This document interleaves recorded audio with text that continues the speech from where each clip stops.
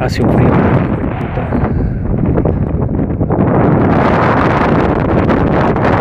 Vamos a ver si aguantamos. Eh,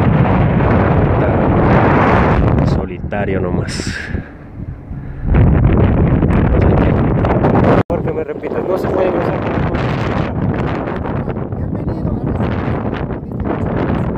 Solamente los, uh, los puedes llegar a vamos es que se, es posible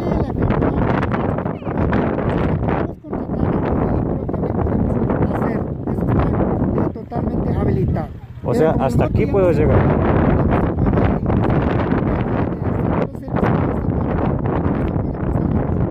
Ok, hasta aquí puedo llegar en la moto. Aquí tengo que sacarme la puta caminando hasta arriba para, para que me lleve. Gracias.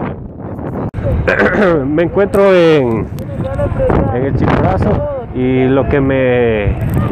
Un poco que me explican es que los motociclistas no pueden ingresar. O sea, si tú eres motociclista y quieres venir al Chimborazo, simplemente no puedes ingresar. Tienes que dejar tu, motocicleta aquí, parqueado, y de aquí sácate la puta caminando hasta arriba. la estupidez de la gente, brother. Ahí están. Los señores. Los señores. Y no puedes ingresar, men. O sea, no puedes ingresar. Tienes moto. O sea, si me preguntas a mí me parece discriminatorio este tipo de normativas de que, claro, porque vienes en moto, no puedes ingresar. O sea, ¿en qué país estamos? ¿En dónde nos encontramos? ¿Qué podemos hacer? O sea, llega todo el grupo de motociclistas y te discriminan por andar en moto. O sea, no puedes ingresar. Simplemente no puedes ingresar. No puedes ingresar. Eso es discriminatorio lo que están haciendo. Dice el señor que no, que no es discriminatorio.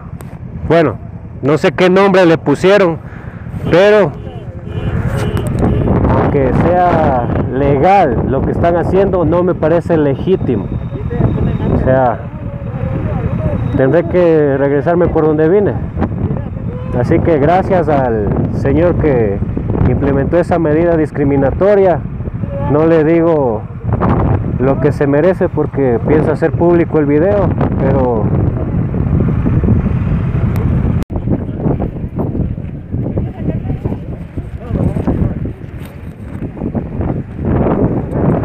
estas son todas las motos que se tienen que quedar aquí, supuestamente porque los motociclistas no podemos ingresar al parque. Así que señores motociclistas, si vienen, prepárense a caminar porque ustedes no pueden ingresar al parque. Aquí nadie explica quién ordenó eso, de disposición de quién. Aquí todos se lavan las manos, que esa es la disposición y nada más.